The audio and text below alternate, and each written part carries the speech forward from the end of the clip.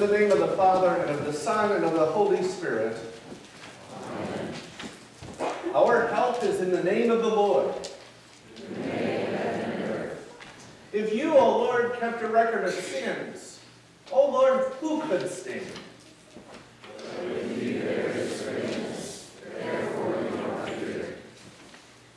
Since we are gathered to hear God's word and to call upon him in prayer and praise, let us first consider our unworthiness and confess before God and one another that we have sinned in thought, word, and deed, and that we cannot free ourselves from our sinful condition. Together as his people, let us take refuge in the infinite mercy of God, our Heavenly Father, seeking his grace for the sake of Christ and saying, God, be merciful to me, a sinner. Almighty God, have mercy upon us, forgive us our sins, and lead us to everlasting life. Amen. Almighty God, in His mercy, has given His Son to die for you, and for His sake forgives you all of your sins. As a called and ordained servant of Christ, and by His authority, I therefore forgive you all of your sins. In the name of the Father, and of the Son, and of the Holy Spirit. Amen. Speak together the introit. The introit is printed on the back of our bulletin.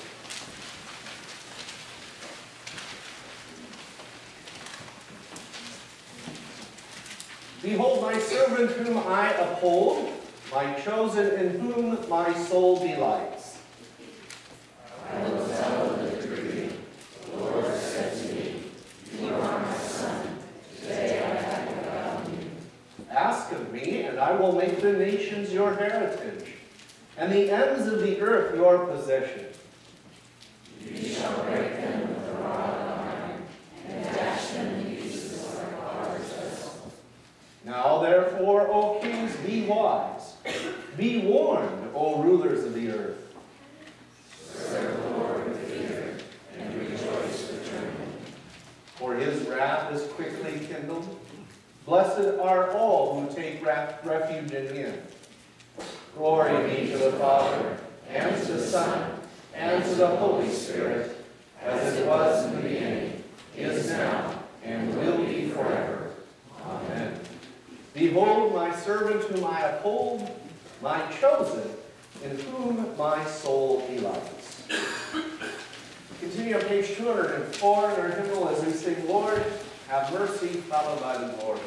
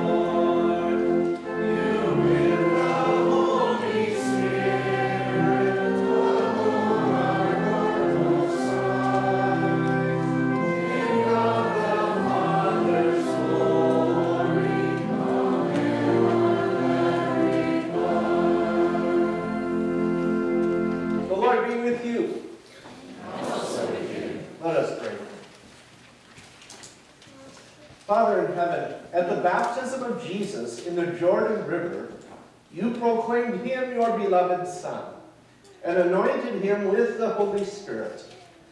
Make all who are baptized in his name faithful in their calling as your children and inheritors with him of everlasting life.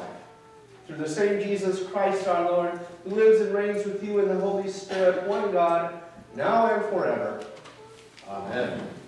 May be seated. Old Testament lesson appointed for the baptism of Jesus is from the book of the prophet Isaiah, chapter 42. Behold my servant whom I uphold, my chosen in whom my soul delights. I have put my spirit upon him. He will bring forth justice to the nations. He will not cry aloud or lift up his voice or make it heard in the street. A bruised reed he will not break, and a faintly burning wick he will not quench. He will faithfully bring forth justice. He will not grow faint or be discouraged till he has established justice in the earth, and the coastlands wait for his law. Thus says God the Lord, who created the heavens and stretched them out, who spread out the earth and what comes from it, who gives breath to the people on it and spirit to those who walk in it. I am the Lord. I've called you in righteousness. I will take you by the hand and keep you. I will give you a covenant for the people, a light for the nations to, the, to open the eyes that are blind, to bring out the prisoners from the dungeon, from the prison those who sit in darkness. I am the Lord. That is my name. My glory I give to no other, nor my praise to carved idols. Behold, the former things have come to pass, and new things I now declare. Before they spring forth, I tell you of them. This is the word of the Lord. This lesson from Romans chapter 6. What shall we say then? Are we to continue in sin that grace may abound? By no means. How can we who died to sin still live in it? Do you not know that all of us who have been baptized into Christ Jesus were baptized into his death? We were buried therefore with him by baptism into death, in order that just as Christ was raised from the dead by the glory of the Father, we too might walk in newness of life. For if we have been united with him in a death like his, we shall certainly be united with him in a resurrection like his. We know that our old self was crucified with him in order that the body of sin might be brought to nothing so that we would no longer be enslaved to sin. For one who has died has been set free from sin. Now, if we have died with Christ, we believe that we will also live with him. We know that Christ, being raised from the dead, will never die again. Death no longer has dominion over him. For the death he died, he died to sin once for all. But the life he lives, he lives to God. So you also must consider yourselves dead to sin and alive to God in Christ Jesus. This is the word of the Lord. We turn in our hymnal to page 205, page 205. Please stand as we sing our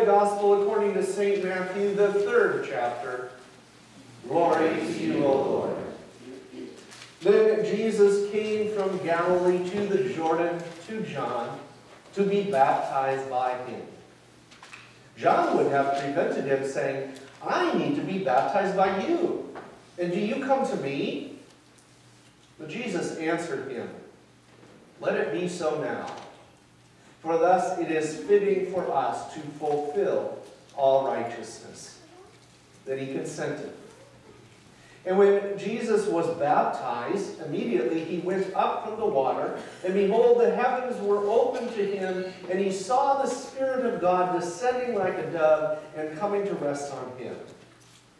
And behold, a voice from heaven said, This is my beloved Son, with whom I am well pleased. This is the gospel of the Lord. Praise, Praise to you, Lord we make a confession of our Christian faith as we speak the Apostles' Creed. The Apostles' Creed is on page 207. We confess our faith. I believe in God the Father Almighty, maker of heaven and earth, and in Jesus Christ, his only Son, our Lord, who was conceived by the Holy Spirit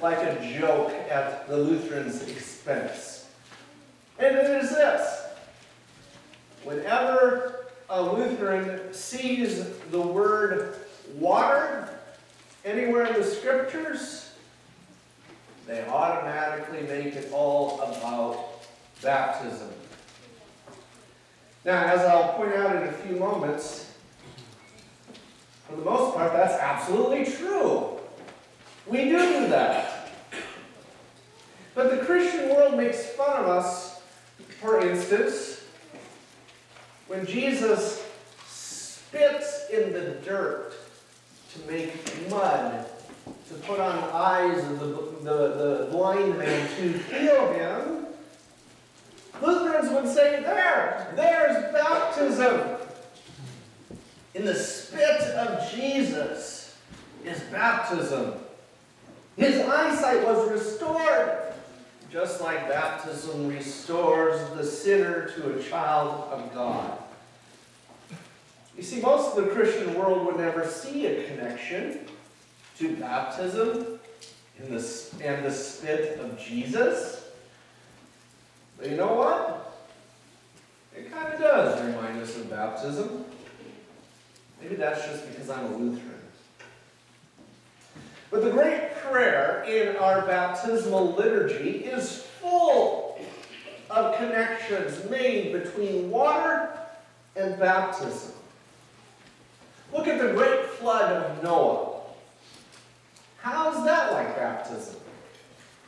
Well, what does the water of the flood do? Well, it destroys the earth, right? Now, that seems to be a pretty terrible thing for God to do. But let's think of this in a different way.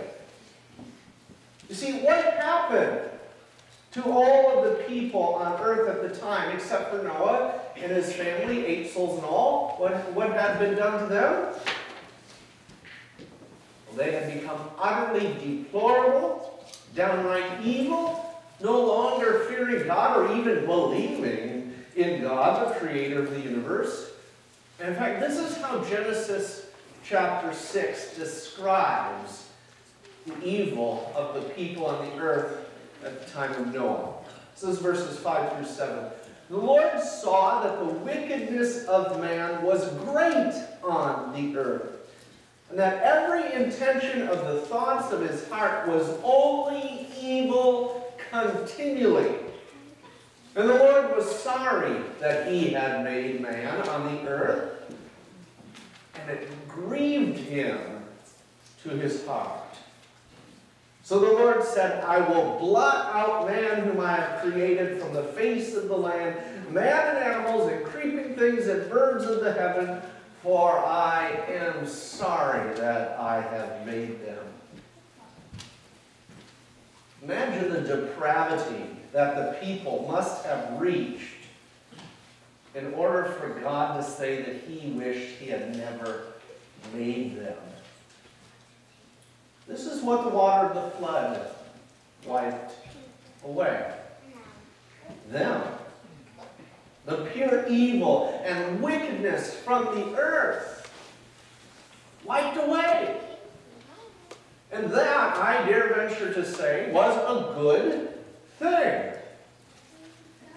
See, the same thing happens to every baby brought to the baptismal font to be baptized. They are as bad as those drowned by the waters of the flood. But the waters of baptism wipes away all evil from them and saves them. Just as God saved righteous Noah and his family. And in the flood story, the ark floated over the waters that had washed away the evil from the earth, and that ark carried in it the righteous. So too does the Christian church on earth carry the baptized today, safe and sound, out of the waters of the evil world. The waters of Noah's flood are the waters of baptism. A great baptismal prayer also points to the waters of the Red Sea and shows us that that's baptism also. God's righteous were spared from the Red Sea waters. They walked on dry ground with the waters walling them all surrounding. But what did the water of the Red Sea do? It removed what was evil. It removed what was pursuing God's people, that pursuers that were trying to destroy them. It drowned hard-hearted Pharaoh and all of his hosts. So does the waters of baptism do to all who believe. We who have been baptized have come through the water of the font, cleansed and forgiven and restored, made heirs of God's promises, we were marked as ones redeemed by Christ the crucified. What is drowned and died in our baptism is our original sin, our old Adam, and any claim that Satan would have on us has been drowned and died. The waters of the Red Sea are the waters of baptism. I could go on all day with these, because again, every time waters in the scriptures, we make a connection with baptism. I'm just going to give a few more though, just a few more. We have Naaman in the Old Testament. He had leprosy, and he went to Elijah, the prophet of the God of Abraham, Isaac, and Jacob, because Naaman's gods weren't working for him. Elijah told him simply to go to the Jordan River and wash and be cleansed of his disease. Well, Naaman didn't like that answer. He wanted some great show of power and glory to be healed, but he did it anyways and the waters of the Jordan restored his health. The waters of the Jordan are the waters of baptism. Then there's the crippled man by the pool of Bethesda that Jesus encounters. I don't even need to tell you the rest of the story because you know it. You got a crippled man, you got a pool of water, you got Jesus. You know what happens. The waters at the pool of Bethesda are the waters of baptism. Okay, I got one more. Just one more. Give me one more. Because it's the best. See, it was against the Jewish religious laws to have criminals hanging on the cross at Sabbath. So the evening when Jesus and the two other criminals were being crucified, the time came to make sure that they were dead so that they wouldn't be up there on the Sabbath. To do this, the soldiers came by with a sledgehammer to break the legs of the condemned. See, that breaking the legs makes it so they can no longer push up on their feet to take a breath to release that pressure from their chest. And so breaking their legs suffocated them. The soldiers got to the first criminal, took the hammer, broke his legs. Went to the second criminal, same thing. Got to Jesus, and he was already dead. They did not break his legs, to fulfill the scriptures, by the way. But just so they, need, they made sure, they took a spear and they jabbed it into his side. And out flowed blood, and you guessed it, water. From the, uh, and the water flowing from Jesus' pierced side to is the water of baptism. Now, do you know what happens to all of this water? Well, what happens with the water after you wash the dishes? You know, it's, it's dirty, it's cloudy, it smells bad. It's good for nothing but to have the drain plug pulled and to get rid of it.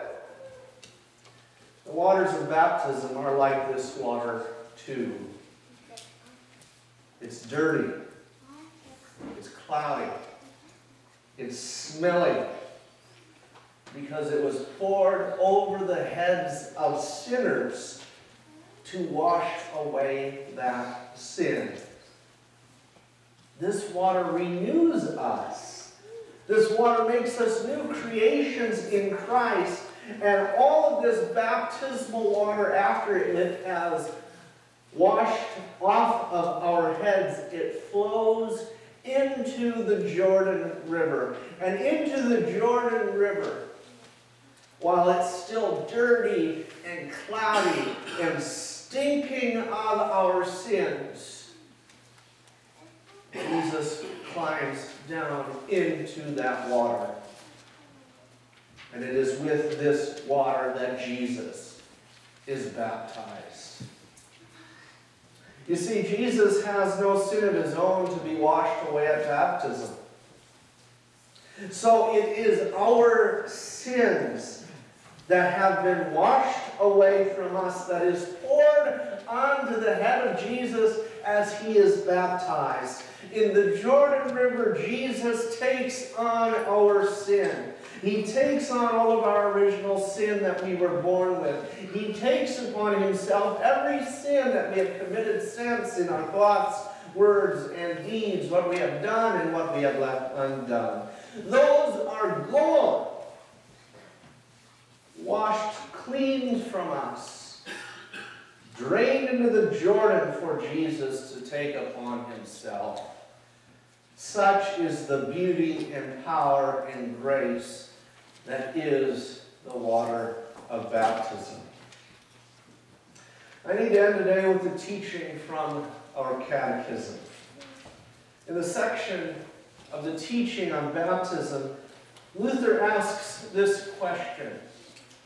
And on the baptism of Jesus Sunday, it's the question for today after I've talked a whole bunch about water. How can water do such great things? Luther's answer? Certainly not just water, but the Word of God in and with the water does these things, along with the faith which trusts this Word of God in the water. For without God's Word, the water is plain water, no baptism.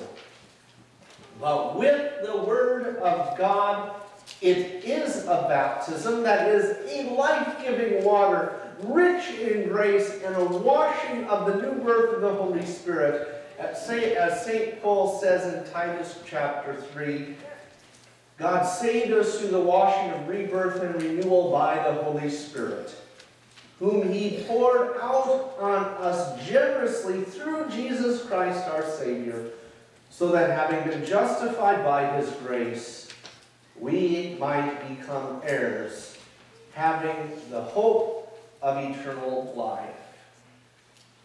That's what the baptism of Jesus Sunday is all about. Paul ends that reading from Titus by saying, This is a trustworthy saying Amen. And now may the peace of God which surpasses all human understanding guard our hearts and minds in the one true faith, even unto life everlasting. Amen. We now take a moment to worship our God with our tithes and our offerings.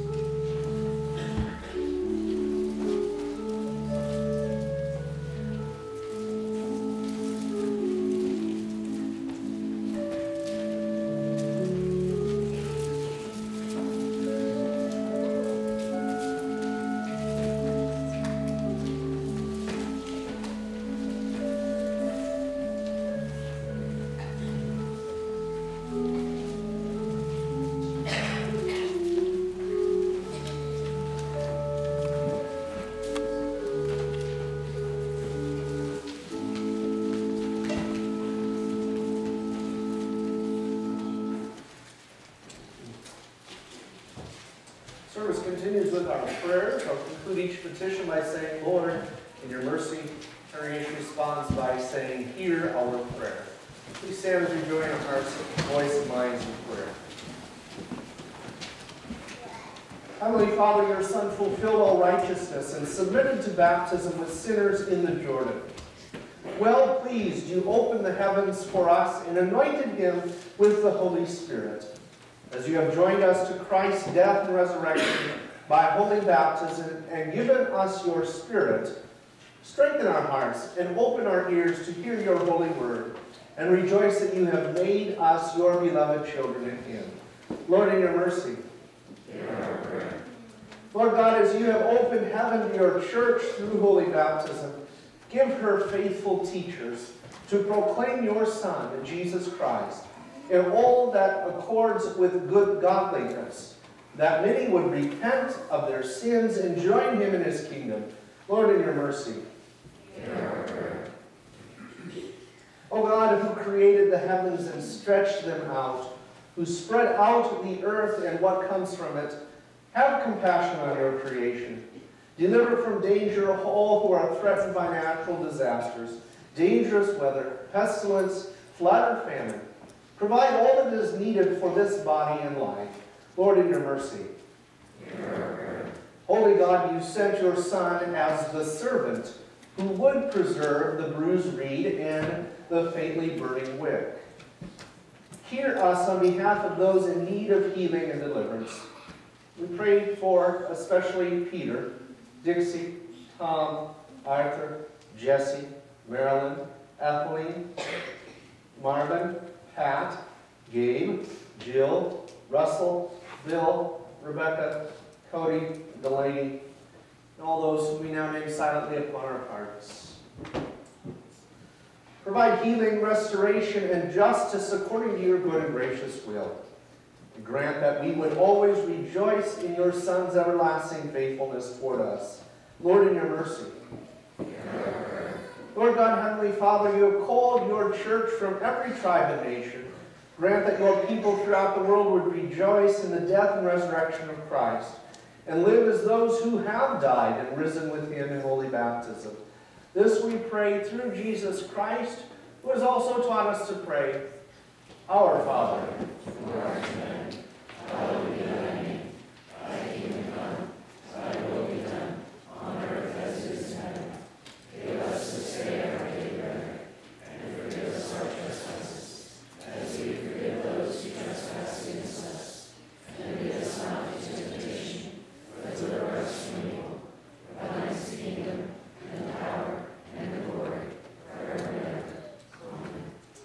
O God, through whom come all holy desires, all good counsel, and all just works, give to us, your servants, that peace which the world cannot give, that our hearts may be set to obey your commandments, and, and also that we, being defended from the fear of our enemies, may live in peace and quietness. Through Jesus Christ, your Son, our Lord, who lives and reigns with you in the Holy Spirit, one God, now and forever. Amen. Receive now the blessing of the Lord. The Lord bless you and keep you. The Lord make his face to shine upon you and be gracious unto you. The Lord look upon you with favor and give you his peace. Amen. You may be seated for a few announcements. Uh, take note of everything we have going on in our bulletin today. I'll point out that uh, it is the regional ministry Christmas cantata today. That's at 4 o'clock at uh, Trinity. Uh, many of our members are singing in that, so uh, you're all welcome to attend. Um, let's see. There is a church council meeting after, after church today. Is that where, the room or here? Just right here, okay? In preparation for voters meeting, which will be next Sunday after church, a regular quarterly voters meeting. Um, elders are going to meet this week, but it's on Wednesday and not Tuesday, so take notice of that. Uh, Are there any other announcements? Uh, one other I have is, uh, we got an e- email from the the Cole Camp Regional Ministry about the Super Bowl. Okay, we're starting that so you can begin going out and buying your cases of soup for uh, the collection for the, the, uh, the Cole Camp Food Pantry. Again, I said, last year we almost beat St. Paul's by like, I think we had like, needed thirty to go. This year we can do it. Again, the, the Methodists in Ionia cheat, so they always win every year. Uh, But, uh, go out and buy your cases of soup. um, And, uh, they're also taking things like soup ingredients, like bags of beans, crackers, you know, all, stock, all of those things go and count towards our goal of winning this year's Super Bowl. Uh, they can be put back in that back table back there. Um, and if anyone is artistically inclined and maybe wants to make a little sign or poster, put back there, uh, that would be welcome as well. Um, with that, we close the last hymn. This is the last Christmas hymn get for the season. So You gotta wait till next Christmas. We'll sing one final one in three eighty-eight, in three eighty-eight.